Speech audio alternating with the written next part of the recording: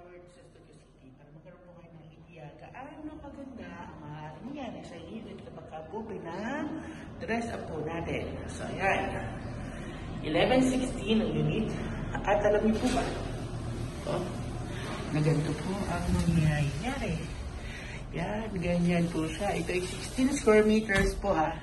16 square meters na condominium unit dito po sa Philander City, Alabang. So, ayan po. So, ito po yung ginawa ko. Yan, welcome home.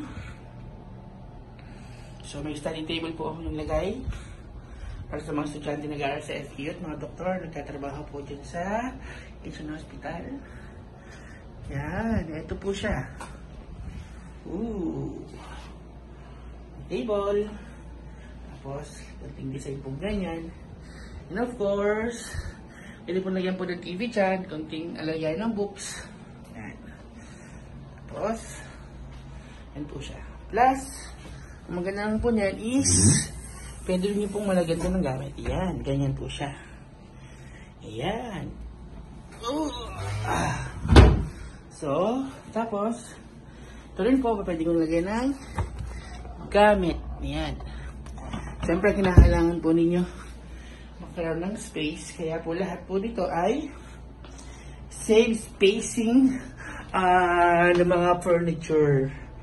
Ah, wow, sa- same spacing. Tapos, ito po siya. Lagyan na niyo po siya ng gamit. Same time, pwede niyo po siyang paupuan. So, yun po, nagkaroon kayo ng idea. Gaano kaganda pwede mangyari sa iyong 16 square meter na condominium unit dito sa Philander City, Alabang.